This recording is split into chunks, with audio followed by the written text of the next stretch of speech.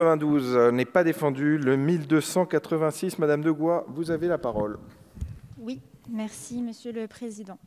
Le Code rural et de la pêche maritime prévoit plusieurs infractions sanctionnant les mauvais traitements envers les animaux. Or, euh, très peu de condamnations se font sur la base de ces articles. On en dénombre 486 euh, en 2015 et 461 euh, condamnations en 2016. La raison, il s'agit d'infractions dites mineures et donc souvent classées sans suite, alors que l'infraction, elle, est bien caractérisée.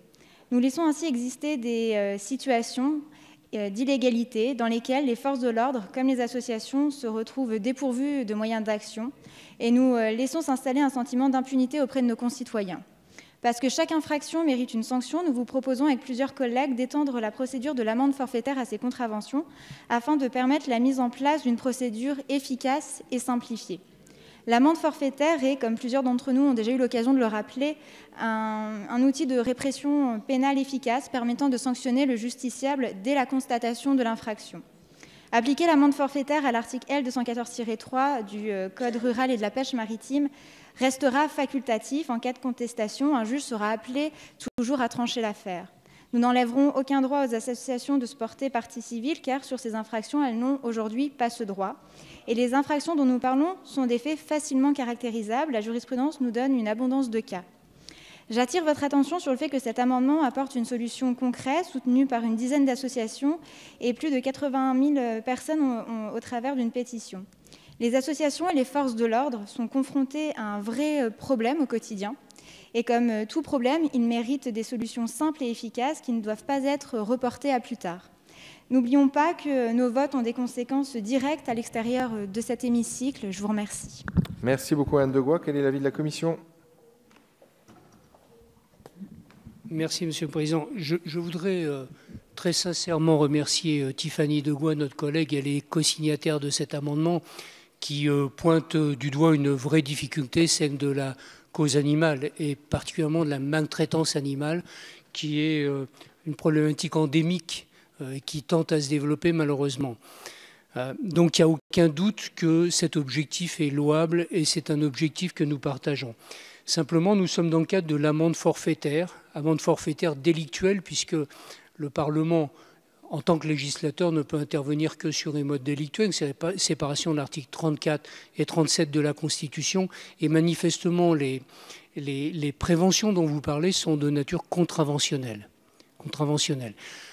Donc la réponse que je suis amené à vous faire en tant que, rapporteur, c'est de dire, certes, la difficulté existe, certes, les associations s'en préoccupent et font un remarquable travail du quotidien, mais nous n'avons pas la capacité d'y répondre ici dans cette enceinte.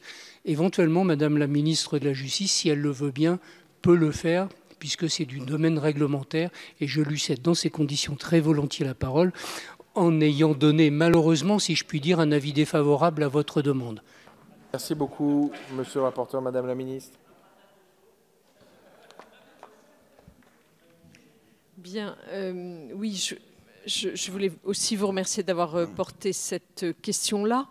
Euh, je crois que euh, votre rapporteur a donné les raisons juridiques pour lesquelles nous ne pouvons pas traiter ce sujet dans la loi, puisque il n'est pas possible par la loi d'établir une contravention. Or, ce que vous souhaitez nécessairement serait de nature contraventionnelle.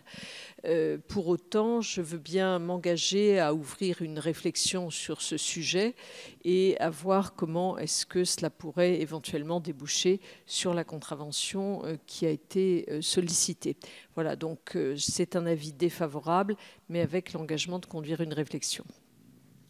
Merci beaucoup, Madame la Ministre. Monsieur Lurton, vous souhaitez intervenir Oui, Madame la Ministre, eh écoutez, moi je vous euh, remercie de votre réponse parce qu'effectivement cet amendement, il pose une réelle difficulté. S'il n'y avait pas eu euh, ce problème réglementaire, nous, nous aurions pu tout à fait y souscrire. Trop souvent, les associations sont confrontées à une difficulté de ne pouvoir intervenir et les forces de police n'ont pas toujours les moyens de le faire. Et c'est vrai que cette maltraitance animale au domicile des particuliers, le plus souvent, elle est malheureusement de plus en plus fréquente. Donc je vous remercie de bien vouloir avancer sur ce dossier qui me paraît quand même important. Merci beaucoup, Monsieur Lurton. Monsieur Bernalicis.